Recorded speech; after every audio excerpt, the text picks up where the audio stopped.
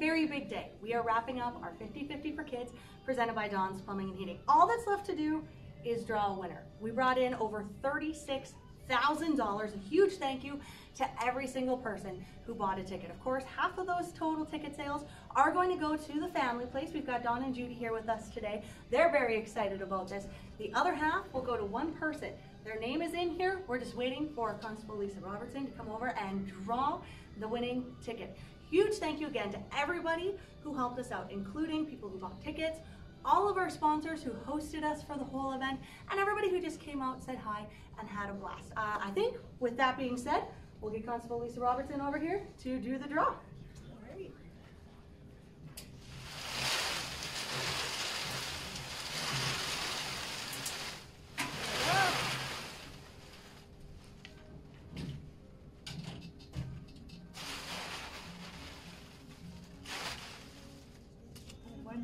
That's the one?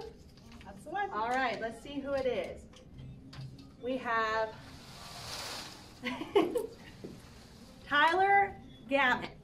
Tyler Gammack is our winner. We'll go give Tyler a call. Yay, Tyler!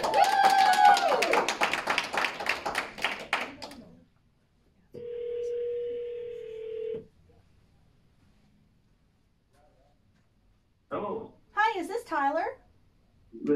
Hi, Tyler. This is Derek Curry calling from the radio station. How are you today? not too bad. No, what are you up to? Oh, just uh, was gonna hop in the shower. so sorry to interrupt. Uh, Tyler, Fine. do you remember buying a 50 50 for kids ticket? I do, yeah. Yeah, why was it important to you to buy a ticket? Well, just to support the community, and I buy them every year, but You buy every year yeah, and you haven't won yet, hey? no, not yet. Man, how about that? What if I told you that uh, you won this year? That'd be awesome. Well, guess what, Tyler? You are our winner. Nice. Yeah, you're $18,000 richer.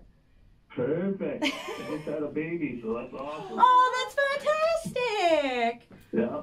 Oh, I always, I love helping things like that. But yeah, Tyler, you are this year's winner. Thank you so much for your support, and uh, you're a little bit richer. Thank you. Awesome. You're very welcome.